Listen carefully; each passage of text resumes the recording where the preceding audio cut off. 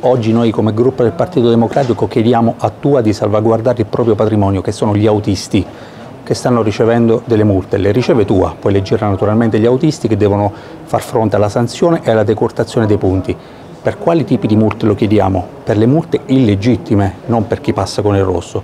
Ce ne sono tante, ci sono autisti che toccano la segnaletica orizzontale a terra, quindi la striscia continua della corsia, perché trovano delle macchine parcheggiate in divieto di sosta e non possono fare altrimenti, a meno che di fermare l'autobus, come sta facendo qualcuno. Qualcuno trova delle macchine ferme, chiama i vigili, attende l'arrivo della pattuglia che sposta la macchina e poi attraversa l'incrocio, altrimenti prende la multa e quindi si è guadagnato la giornata e prende anche la decurtazione dei punti. Sono autisti che ci lavorano con la propria patente. La stessa cosa si verifica in altre tipologie di incrocio.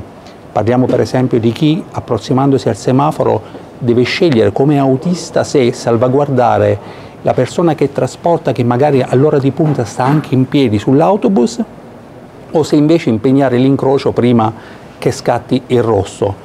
E poi ci sono altre questioni che riguardano la larghezza delle corsie. Un autobus di tua è di largo 2,55 m senza gli specchietti.